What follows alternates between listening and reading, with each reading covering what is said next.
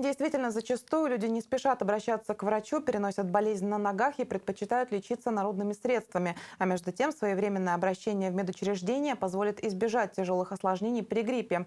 Об этом мы поговорим сегодня с нашим гостем. У нас в студии начальник отдела организации медицинской помощи и развития здравоохранения Елена Сигарева.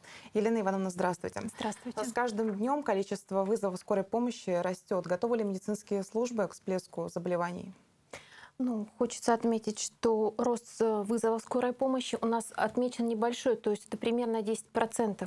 Но изменилась структура вызова скорой медицинской помощи. Примерно сейчас половина всех вызовов это приходится на долю заболеваний а, верхних дыхательных путей. Это ОРЗ, ОРВИ, как мы обычно говорим, да, острые респираторные вирусные инфекции, в том числе у нас появился грипп. А какими симптомы, какие симптомы должны быть у человека, чтобы он смог обратиться в скорую помощь? А, ну, симптомы это обычные, то есть ухудшение состояния, но скорая помощь, на то она и скорая помощь, что она купирует действительно серьезное осложнение. То есть если человек на протяжении длительного времени не может справиться с высокой температурой, то есть он принимает препарат, обычно дающий хороший эффект, но у него не получилось снизить температуру, а у него выражена головная боль, которая тоже не может быть купирована, у него выражены симптомы интоксикации, это выраженная слабость, выраженная боли в мышцах, суставах, и он не может справиться с этой ситуацией, тогда он должен обратиться в скорую помощь. Но при наличии этих симптомов, особенно очень часто у нас заболевание возникает утром, то есть мы ночь переспали, вроде бы какие-то у нас были вечером нарушения, какое-то недомогание, а утром мы проснулись и понимаем, что либо мы заболели, либо наш ребенок заболел, нам прежде всего требуется вызвать врача на дом все-таки скорая помощь, она на то и скорая, что уж очень неотложное состояние. То есть есть несколько вариантов. Скорая помощь, врач на дом, а в поликлинику можно пойти самостоятельно или все-таки а, стоит вызвать? Если все-таки вы подозреваете, что у вас острое э, заболевание, вызванное вирусом, пускай даже это не грипп, э, мы не советуем обращаться в поликлинику, мы все-таки советуем вызвать врача на дом, потому что в поликлинике будут люди не только с респираторными инфекциями, но и с другими патологиями, и в том числе выздоравливающие, придя больными, тем более в остром периоде, когда мы наиболее заразны, медицинскую организацию мы подвергаем риску их здоровья. Ну и потом, если у вас выраженная интоксикация, конечно, лучше остаться дома и вызвать врача на дом. А что медики советуют в тех случаях, когда э, на работе ходит человек и чихает, кашляет? Отправить его домой?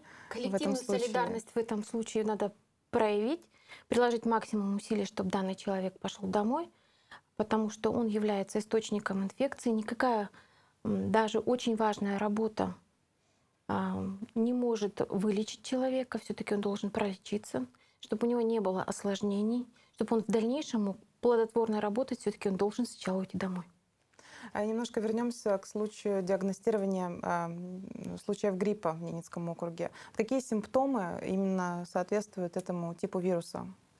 А, вообще характерно его отличие от сезонного гриппа, который у нас обычно бывает, но не вызывает таких серьезных осложнений, как данный вирус, который сейчас у нас циркулирует, это сразу начало температуры, и очень, в очень незначительном количестве случаев мы имеем такой продромальный период, когда у нас появляется следостечение, зуд в носу, а, легкое недомогание. Этот грипп сразу манифестирует о себе. Очень часто на уже сразу с кашля начинается, то есть сразу поражает трахеобронхиальное дерево, потому что имеет сродство тканям трахеобронхиального дерева. То есть мы не получим классическую такую картину. Будет выражена интоксикация, головная боль, боли в мышцах, суставах и на фоне совсем небольшого периода болезни сразу появляется кашель.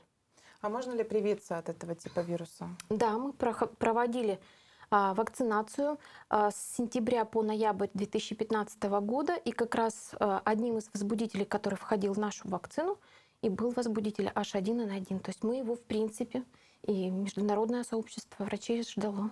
Появление именно этого гриппа подошло, подошел его срок. А как э, медики относятся к тому, э, что люди могут носить повязки? Это как-то защищает э, от инфекций вирусных?